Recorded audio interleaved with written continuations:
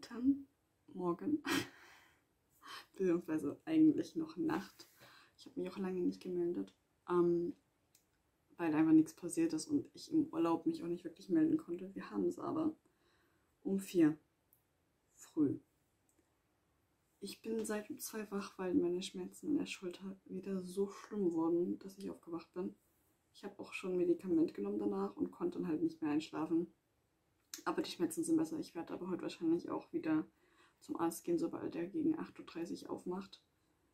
Und mir vielleicht doch mal die Überweisung holen, da ich ja auch Mitte März vorhabe, nach Hause zu gehen und ich das eventuell noch davor irgendwie ein bisschen geklärt bekommen haben möchte. War das ordentliches Deutsch? I don't know. Äh, und ja, mal gucken, was dann die Woche noch so passiert. Vielleicht wird es einfach nur ein Wochenvlog, weil an sich nicht spektakuläres passieren wird, aber vielleicht ein paar Einzelheiten. Auch so ein bisschen updaten. Wegen Korea muss ich gerade ein bisschen überlegen, ob ich wirklich das Jahr mache oder da die Quarantäne auf sieben Tage runtergesetzt wurde, ob ich nicht wirklich sage, das erkläre ich jetzt doch direkt gleich. Äh, es ist nämlich so, erstens Quarantäne wurde runtergesetzt. Sieben Tage statt äh, zehn. Und deswegen bin ich kurz im Überlegen, ob ich nur die drei Monate gehe, jetzt dieses Jahr ohne Visa was halt echt wieder ist, von wegen, boah, umsonst den ganzen Stress gemacht. Das entscheidet sich endgültig, wenn im März dann nochmal das Café schreibt und die umgezogen sind. Weil ich sonst von einigen nur so halbe Zusagen bekommen habe und ich bin ein bisschen unsicher. Und der Hauptgrund Nummer zwei ist aber, dass ich mein Bachelor, ich bin in einem Bachelorgang, der nächstes Jahr März ausläuft. Sprich, wenn ich in dem Bachelor meinen Abschluss machen will, muss ich den bis März machen. Und ich hatte gerade überlegt, dass ich meinen Bachelor in Korea schreibe und alles.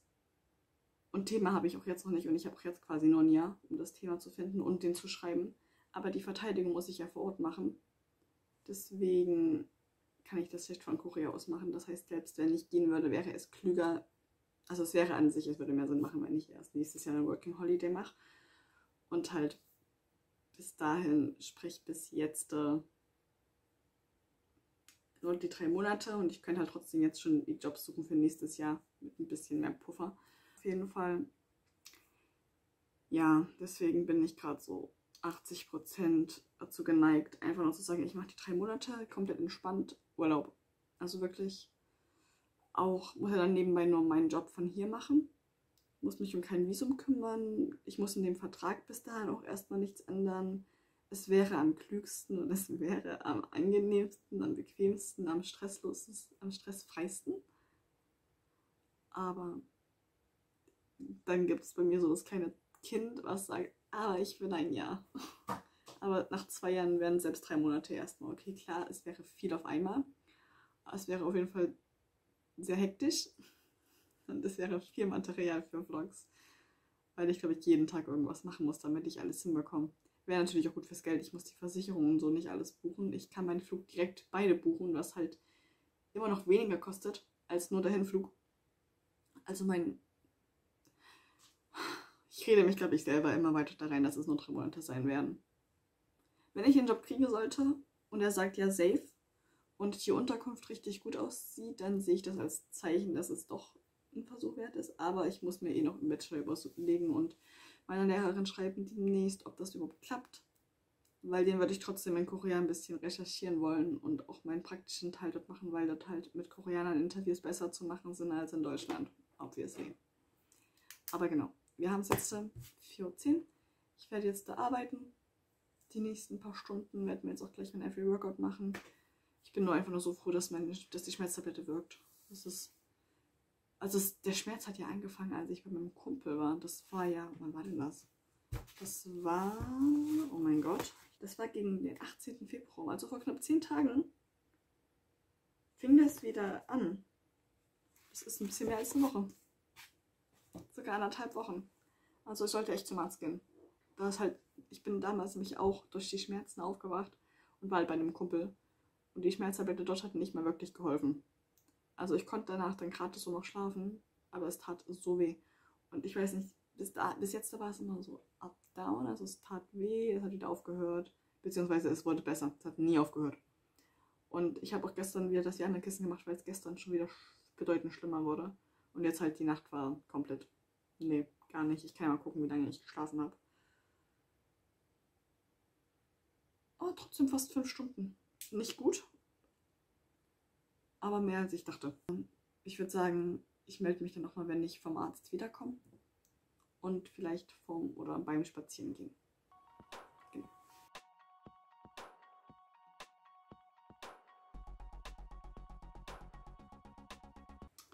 Aber ich möchte auch mal sehr anmerken, wie dankbar ich bin, dass es diese Nacht war.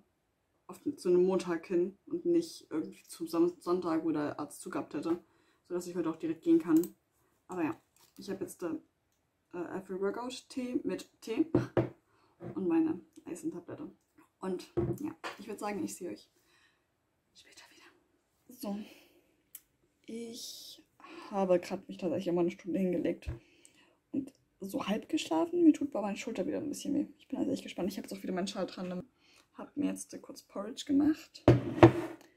Das esse ich jetzt. Es ist draußen auch wenigstens schon hell draußen und dann werde ich eventuell auch schon bald langsam vorlaufen. Um 8 macht das Edeka nicht auf. Vielleicht finde ich das so und ich will eh pünktlich da sein, deshalb. Genau.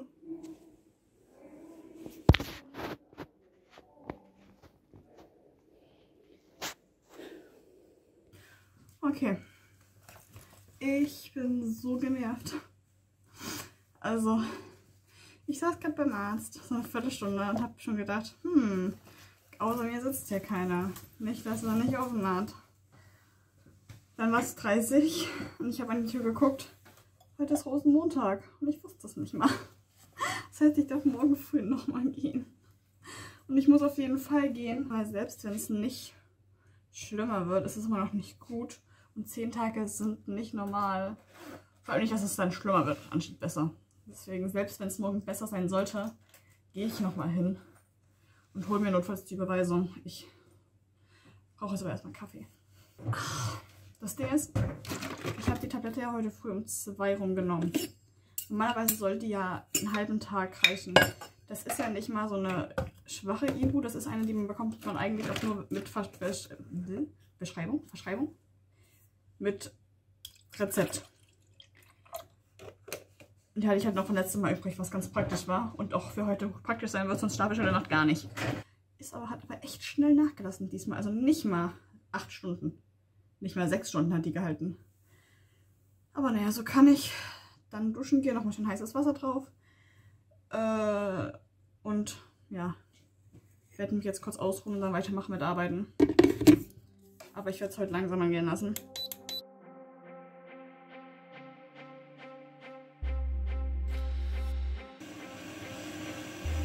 Au.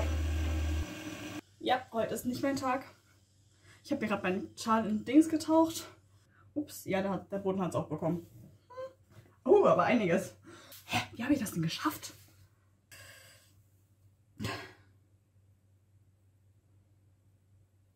Ich will nicht mehr. Ich trinke jetzt erstmal in meinen Kaffee, ruhe mich aus. Vielleicht lege ich mich dann noch mal ein bisschen hin.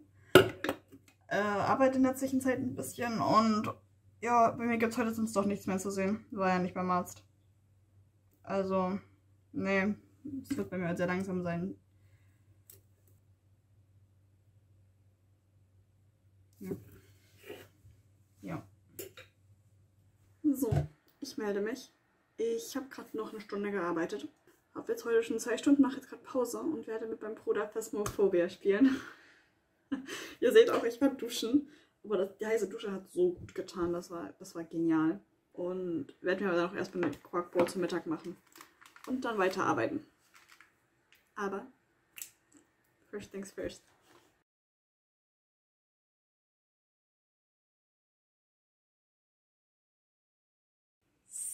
So, ich habe tatsächlich gerade noch eine ganze Weile gearbeitet. Schmelztablette habe ich keine genommen. Die werde ich heute Abend erst nehmen, damit die auch dann über Nacht wirkt und ich nicht wieder unter Schmerzen aufwache. Und ja, ich zocke jetzt noch ein bisschen, noch eine Stunde, zwei Stunden beim Bruder und dann gibt es Abendessen. Und genau. Morgen. Wir haben es den 1. März, am Dienstag. Äh, ich habe durchgeschlafen. Ich hatte ja gestern noch ein, äh, eine Tablette genommen, nicht Schmerztablette. Ich merke es halt auch immer noch, es tut nur nicht weh. Ich, wir haben 37 fast. Das heißt, ich werde sogar fast eine halbe Stunde schon zum Arzt losmachen, in der Hoffnung, dass irgendwas Neues rauskommt oder ob er mir wenigstens sagt, dass ich die Tabletten weiternehmen soll oder nicht. Äh, ich bin gespannt, wie lange ich warten werden muss. Hi. Ich habe komplett vergessen, mich zu melden. Wir haben es mittlerweile schon um 10. Ich habe schon gefrühstückt und ich bin schon wieder vom Arzt da. Ich habe meine Überweisung bekommen. Ich habe jetzt auch einen Orthopäden gefunden, den ich gleich anrufen werde. Äh, und ich habe neue Medikamente bekommen, weil es halt wirklich auch bedeutend schlimmer war. Also ich habe jetzt noch muskelentspannendes Zeug. Ich soll wirklich dreimal am Tag mittlerweile diese Ibuprofen nehmen. Letztes Mal waren es nur zweimal. Ich soll also zwei Tabletten dreimal am Tag nehmen für die nächsten drei Tage. Juhu. Ich wurde zweimal gewarnt, dass es äh, lightheaded so ein bisschen high machen kann. Aber ich kenne es ja, wenn ich, wenn ich in Ohnmacht falle, das ist das Ding. Mir geht es gerade die ganze Zeit so wie, ich bin auf dem Weg zu ich falle in Ohnmacht. Ich habe die ganze Zeit schon so ein bisschen Angst, dass es mich jeden Moment einfach ausnockt. Aber das sollte eigentlich nicht passieren. Drückt mir die Daumen. Ich drücke sie mir selber. Weil ich möchte bitte, wenn ich dann am 15. März nach Hause fahre, wenigstens schmerzfrei meinen Geburtstag feiern können.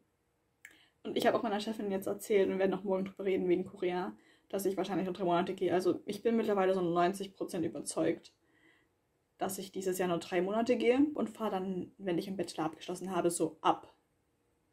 Na gut, vielleicht schaffe ich es ja schon im Februar, dass ich meinen Geburtstag doch, oh, das könnte sogar klappen, dass ich doch meinen Geburtstag feiere.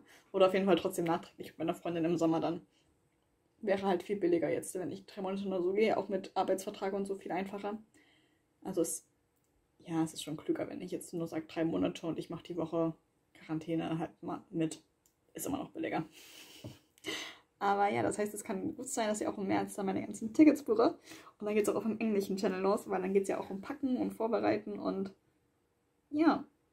Ich könnte theoretisch und sogar. So. Ich habe einen Termin im Rathaus. Ich habe für nächsten Montag einen Termin ähm, beim Orthopäden. Ich habe jetzt Essen. Kann es euch mal zeigen. Und zwar den veganen Sojajoghurt mit Mango-Protein, Mango, Quinoa, ein bisschen Müsli und Ruby KitKat. Und genau, das werde ich jetzt essen. Yay! Und ich glaube, ich habe einen Kaffee gefunden, wo ich hin will. Das klingt nämlich ganz gut. Das würde ich auf jeden Fall testen. Äh, ich habe leider kaum Bilder dazu gefunden, aber es heißt gesund und süß. Und die machen ohne Industriezucker. Die machen das meiste sogar vegan und laktose- und glutenfrei. Deswegen bin ich gespannt. Sieht auf jeden Fall gut aus. Ich habe im Hintergrund die Insta-Seite offen, deswegen. Und es ist halt in Köln. Deswegen, man kann es ja einfach testen. Und dann kann ich berichten, ob ich es empfehlen kann. Die restliche Woche wird dann wieder arbeiten. Und entspannen. Und ganz viel Phasmophobie. Ich bin ein bisschen süchtig. So ein bisschen vielleicht. Aber das war es dann auch schon von heute. Und wir sehen uns dann morgen wieder, nehme ich mal an. Wenn ich morgen nicht einen extra Vlog draus mache. Ansonsten dann spätestens Donnerstag, Freitag rum. Guten Morgen. Ihr seht, es geht mir gut. Äh, meiner Schulter geht es um einiges besser. Aber ich merke es tatsächlich immer noch. Normalerweise war das nach dem ersten Tag dann schon richtig gut. Aber ja, ich werde gleich meine heutige Medikation nehmen. Das deutsche Wort so furchtbar für Medication. Äh, meine heutigen Medikamente. Dann habe ich das andere dann in Köln. Wäre auch gut. Erstmal im Café sitzen und Pillen stucken. Und ja, ich freue mich schon voll. Wir haben es gleich um 8. Wie gesagt, wenn ich meine Tabletten genommen habe, werde ich auch erstmal einkaufen gehen ins Rewe hinter. Da habe ich dann gleich meinen Spaziergang mit. Und dann wahrscheinlich in Köln noch ein bisschen spazieren. Also das wird heute auch wahrscheinlich keinen Sport machen können. Ich zeige euch was aus dem Café. Definitely. Ich werde eventuell auch ein eigenes Reel oder so für Insta dazu machen. Mal gucken. Ich werde wahrscheinlich ein Kleid anziehen. So das erste Mal richtig zum Rausgehen ein Kleid. Das ist das, das, yay. Und wir werden halt auch wieder schön über Korea reden. Und boah, ich freue mich voll, sie nicht zu sehen. Also wirklich richtig. Also, ich bin echt ein bisschen aufgeregt. Aber ich freue mich. Deswegen würde ich sagen, ich gehe einkaufen. Drücke noch meine Medikamente und sehe euch dann später wieder. So, ich bin wieder da. Ich habe einen neuen Beutel, ich war einkaufen, ich habe Eis gekauft. Endlich mal wieder. Ich zum ersten Mal hier wieder mit Magnum Eis. Neue Milch. Eigentlich einer der Hauptgründe, warum ich hingegangen bin. Ich habe meinen Bus um eine Minute verpasst. Ich musste alles wieder schleppen, was bei meiner Schulter momentan, glaube ich, nicht das Klügste ist. Aber was soll ich machen? Zehn Minuten warten hatte ich jetzt auch keinen Bock.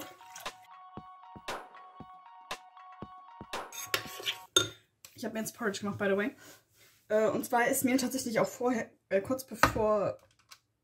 Quatsch. Ich habe kurz bevor ich rausgegangen bin, meine Medikamente genommen. Und habe dann unterwegs gemerkt, das war vielleicht nicht die geilste Idee. Aber egal. Irgendwie habe ich das Gefühl, ich habe so ganz selten, manchmal bei diesen Mandelmilch, eine, die sich nicht so geil schäumen lässt.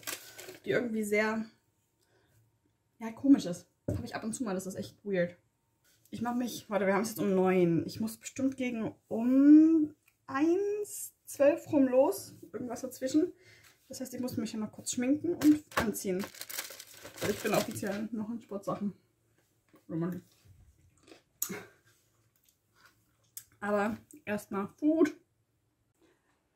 So, es wurde jetzt verschoben auf wir treffen uns gegen 14.30 Uhr rum. Das passt ganz gut, weil es gibt einen Zug, der kommt genau 14.30 Uhr an. Äh, und dann gucken wir, wie wir da hingehen. Aber wir gehen auf jeden Fall in das Café. Sie war von der Idee voll begeistert. Und ich werde mich jetzt trotzdem schon mal fertig machen, damit ich dann ganz entspannt bin.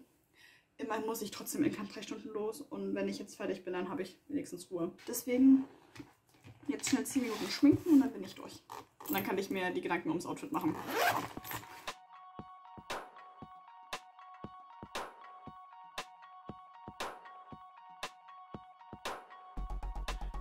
So gerne ich diesen koreanischen Lippenstift liebe, wenn man ihn echt doll aufträgt, also normal wie halt Lippenstift, ist der schon extrem. Deswegen versuche ich das gerade zu tippen. Geht schon. Ready. Jetzt habe ich noch drei Stunden mindestens, um mich zu entspannen und mich dann umzuziehen. Und ich habe mich jetzt wirklich das blaue Kleid anziehen. Ich würde sagen, ich sehe euch später wieder, wenn ich mich auf das, auf das Café losmache. Wenn ich mich auf den Weg zum Café mache. Werde im Café filmen, auf jeden Fall. Ich werde es versuchen.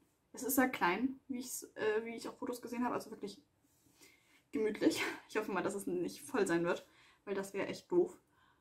Aber ja, bin gespannt. Ich hoffe, dir was mit Matcha oder Pistazie oder Erdnuss. So eins von den dreien würde ich mir auf jeden Fall holen. Da wäre ich dabei, vor allem vegan.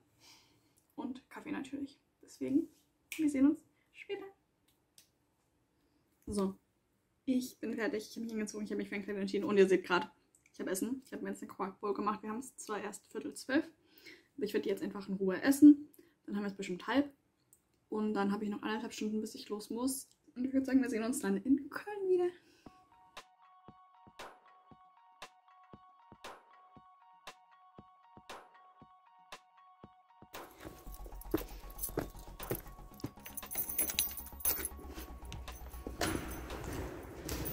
So, ich bin wieder da. Ich habe gerade noch eine Stunde mit meinem Bruder gespielt, bevor ich mich abgeschminkt habe und alles, weil er jetzt los muss und ich wollte die Stunde noch nutzen. Aber es war erstens richtig lecker, es war richtig cool, richtig entspannt. Und ja, ich werde mich aber jetzt gleich Bett fertig machen. Ich meine, wir haben es jetzt erst 19.30 Uhr, aber ich werde jetzt auch erstmal irgendwas zu essen machen und das war's. Deswegen. Guten Morgen. Wir haben, es jetzt schon Freitag, den 4. März. Ich habe gestern gar nicht gefilmt, ich habe aber auch nichts gemacht, außer so ein bisschen gearbeitet und gezockt und Videoschnittprogramme getestet. Und ich glaube, ich habe mich für eins entschieden. Damit habe ich jetzt auch den Vlog schon geschnitten äh, und vorbereitet. Deswegen wird es wahrscheinlich das am Ende auch werden. Heute habe ich jetzt gleich um 8 äh, zwei Meetings bis um 10. Und dann war es die Woche eigentlich mit Arbeiten auch schon größtenteils. Äh, ich werde heute noch ein paar Sachen, so Kleinigkeiten machen, also dass ich heute eventuell so zweieinhalb, drei Stunden komme. Und dann geht es ab nächste Woche richtig mit Schneiden los. Aber ja, die Woche ging so schnell rum. So, wir haben es um 10. Ich habe meine Meetings durch. Ich habe so viel zu tun heute und nächste Woche. Das wird, also der Monat wird nochmal richtig, richtig voll, weil ab jetzt geht's los, los. Aber wir haben es um 10. Ich habe noch nichts gegessen. Ich habe Hunger ohne Ende. Ich will jetzt erstmal essen. Wollte eigentlich noch einkaufen. Aber ich brauche jetzt eine kurz Pause. Zwei Stunden. Und danach geht's richtig los. Ah, aber ich habe wieder viele neue Ideen gesammelt. Und produktiv. Aber ich brauche erstmal Kaffee, fällt mir gerade auf. Wir haben es, by the way, Samstag. Oh mein Gott, meine Hände sind eingefroren. Ich bin gerade 20 Minuten zum Lidl gelaufen und zurück.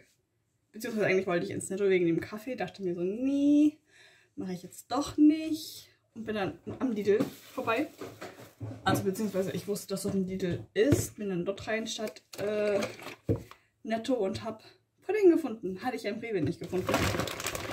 Und noch ein paar andere Sachen. Hauptsächlich Käsedau.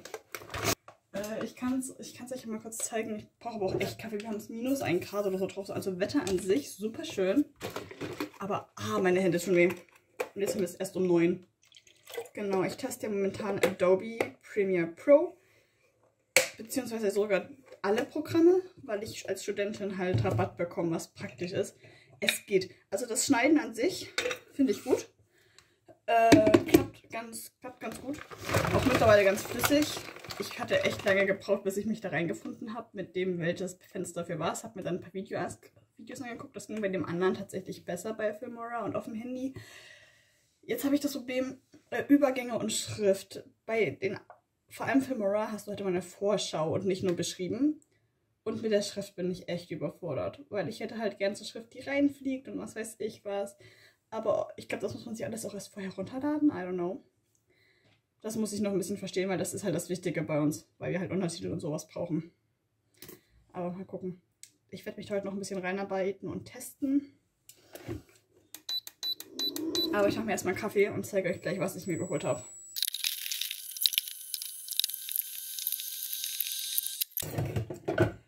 Mir ist aufgefallen, dass der März wieder richtig ereignisreich wird bei mir. Also sowohl arbeitsmäßig wird wieder richtig durchgepowert werden müssen, weil wir das Ende März fertig kriegen wollen. Das heißt, schneiden sehr viel. Ich werde mir entweder einen Laptop holen über nächste Woche oder ich bekomme einen zum Geburtstag. Das weiß ich noch nicht, muss ich mit meinen Eltern noch reden. Aber ich brauche auf jeden Fall einen Laptop. Erstens, damit ich das Schnittprogramm auch richtig durchziehen kann und dort auch dann meine YouTube-Videos und so, dass alles flüssig läuft und ich das auch mit nach Korea nehmen kann und wenn ich rumreise und auch vom Kabel. Ah. also das auf jeden Fall. Dann werde ich wahrscheinlich meine ganzen Tickets buchen können. Weil das heißt, ich weiß wahrscheinlich Anfang April schon, wann ich nach Korea gehe. Ich freue mich so. Das habe ich gerade einfach auf beim Spazieren gemerkt. Aber ich zeige euch erstmal, was ich mir geholt habe. Ja, kleiner Luxuseinkauf wieder. Äh, es gibt ja im Rewe die veganen Schupfnudeln und Spätzle, finde ich beides richtig lecker. Vor allem, ich liebe aber Schupfnudeln allgemein sehr, weil man die auch süß mit Quark essen kann und halt auch herzhaft sehr gut. Dann ein paar Riegel. Ich mag den tatsächlich ganz gut. Ich weiß, da gehen die Geschmäcker auseinander. Manche hassen den. Ich liebe den. Ich mag diese Konsistenz irgendwie. Äh, ja, ein paar meiner Faves. Die waren im Angebot, Jeramon, habe ich mir wieder mitgebracht. Jetzt habe ich ganz viel Käse da. Die finde ich auch richtig gut. Hat jetzt nicht, gibt's nicht in Fettarm, gibt's halt in Schnittlauch und noch irgendwas anderes. Ich hatte jedes Mal Schnittlauch. Ich finde den richtig gut. Halt, ich liebe halt einfach Camembert, wie man vielleicht merkt. Die habe ich einfach so entdeckt. Das sah halt cute aus und das werde ich auch meinem Bruder mitbringen. Also ich werde natürlich auch testen, obviously. Wahrscheinlich sogar für ein YouTube-Video, aber ich nehme sie auch meinem Bruder mit. Aber die sahen halt mega spannend aus, vor allem. Die Geschmäcker klingen halt geil und die sehen halt süß aus. Apfel, Heidelbeere, Erdbeer, Zitrone und Ananas-Orange. Klingt halt saugeil. Die waren auch cool. Und dann kommt dann so Gamer ein bisschen durch. Und guck mal, sie haben sogar Zink, Lektrose und Vitamin. Also, ja, jetzt halt auch hier noch die Geschmacksrichtungen. Teste ich beide für YouTube. Und ich liebe Trolleys. Ich mag ja bei den Würmern, meine Lieblingsgummibärchen sind ja die Trolleys auch in Würmern. Deswegen große Erwartungen. Dann Haselnusspudding. Ich habe ja die Woche keinen Rewe bekommen. Das Alpro war im Angebot und das war der letzte ohne Zucker, sonst hätte ich mir wahrscheinlich mehr mitgenommen. Und für Nudeln Arabata. Ich weiß nicht, wie das ausspricht. Arabiata. Ich, keine Ahnung, ich kann auch Spanisch und kein Italienisch. Aber scharf. ja, also es geht. Und ich werde mich jetzt weiter ans Programmtesten setzen und die Videos gucken und das Schneiden. Ich schneide nämlich gerade den ganz genau gleichen Vlog jetzt nochmal auf Adobe, um zu gucken, wie ich mich da einarbeite. Wie gesagt, das mit dem Zusammenschneiden finde ich dort mittlerweile richtig, richtig cool. Äh, da komme ich langsam gut rein. Bei mir ist halt immer noch dieses Schriftarten, Schriften, so, so Special Effects mäßig halt, weil ich damit ein bisschen mehr arbeiten möchte. Aber ja, mal gucken. Dafür habe ich sogar sieben Tage Zeit. Ich muss es sonst einfach kündigen. Ansonsten läuft es weiter. Ich überlege sogar, ob ich mir das einfach persönlich sonst holen würde, weil ich meine, man hat dort alle Programme drin als Student und ich bin ja eh fast nur noch ein Jahr offiziell. Deswegen würde das ganz gut passen für genau ein Jahr. Deswegen mal gucken, was ich mich am Ende entscheide. Ja, ich melde mich jetzt Sonntagabend wieder die Woche ist vorbei. Es ist tatsächlich nichts passiert am Wochenende. Ich habe einfach die ganze Zeit Adobe getestet. Ich habe auch gerade gelernt, wie es eigentlich ausgesprochen wird. Mache halt, wie man sieht, gerade eine Maske. Und mehr wird halt auch nicht passieren. Morgen früh gehe ich halt zum Arzt und dann mal gucken, was ich die Woche mache. Ich treffe mich eventuell mit zwei Freunden, bevor ich halt dann übernächste Woche wieder nach Chemnitz Richtung mache, also Heimat, für meinen Geburtstag. Aber sonst ist doch die Tage nichts Spektakuläres passiert. Also, wie gesagt, gearbeitet nicht, weil Wochenende. Und halt nur ein Programm ausgetestet mit dem Vlog, den ich gerade beende. Und ein neues Testvideo gedreht. Juhu, Halleluja. Es sind auch noch zwei, die ich jetzt drehen werden kann die nächsten Tage. Und dann kann ich mich noch mehr ins Programm einarbeiten. Es wird langsam. Ich bin verzweifelt. Ich verzweifle immer noch. Ich bin kein technikaffiner Mensch. Aber ich habe mir YouTube-Videos angeguckt und wenn mir das erklärt wird, dann komme ich da auch gut rein. Und genau. Habe auch ein bisschen weiter nach Laptops gesucht. Werde mir wahrscheinlich, beziehungsweise so 90% Sicherheit diesen Monat auch einen Laptop kaufen. Das wird ein sehr teurer Monat. Wenn ich mir mein Flugticket holen will und einen Laptop. Aber ich meine, ich brauche beides. Also, ich brauche beides irgendwie den Laptop auf jeden Fall wegen Arbeiten und das Flugticket halt, wenn ich nach Korea will. Also obviously brauche ich das auch. Aber damit der Vlog bei unter 30 Minuten bleibt, worauf ich sehr stolz bin, dass es eine ganze Woche war, äh, werde ich jetzt auch schon richtig verabschieden und sagen, vielen Dank fürs Einschalten und lasst mir gerne ein Like und ein Abo da. Schreibt mir gerne Wünsche und Ideen in die Kommentare und ich würde sagen, wir sehen uns dann beim nächsten Video. Bye!